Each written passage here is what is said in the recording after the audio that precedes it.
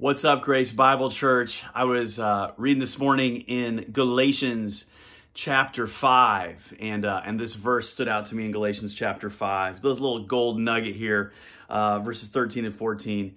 He says, You, my brothers and sisters, were called to be free, but do not use your freedom to indulge the sinful nature. Rather, serve one another in love. And then he goes on to say the whole law can be summed up in this one command love your neighbor as yourself. And uh, that gave me hope in a couple ways today.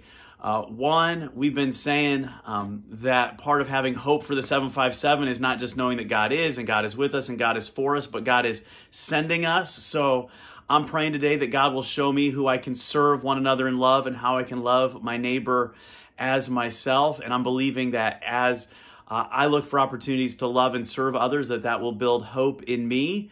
And then I guess just the second thing is that I'm so encouraged that we're doing that together as a church, trying to love our neighbors as ourselves. And, um, you know, as, as always, I'm, I'm thankful that I had the chance to read in Galatians 5 for myself today. I'm, I'm thankful that I can share that with you. I hope it encourages you today. But all the more, your daily hope and mine um, is ultimately found in our time with the Word and our time seeking the Lord today. So let me encourage you, uh, if you haven't yet, find 10, 15, 20 minutes to slow down, take a deep breath, and allow God to speak directly to you because He loves you and He wants to say something to you today. Have a great one.